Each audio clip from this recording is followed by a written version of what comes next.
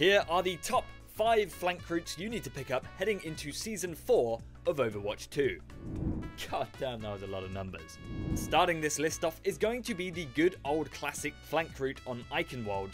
It was out of the map pool for Season 3, but it's going to be back in next season, so make sure if you're playing a character with high movement like Echo here, you learn to use this round the building flank to give you an easier dive onto the backline.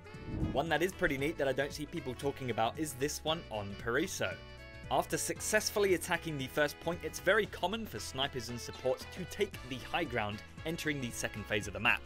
With this quick flank route, you can take them off guard at a rather unexpected angle. Another common one on Blizzard World this time is to hike around this rock and open up the backline entering the early stages of Phase 2.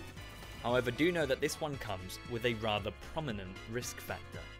On the second phase of Circuit Royal, when the payload begins to move its way up the hill, you can flank all the way around this building to end up in the high grounds of their spawn area and set yourself up for a nice engagement onto the late spawners and backline. I was completely blown away when I found out this one existed.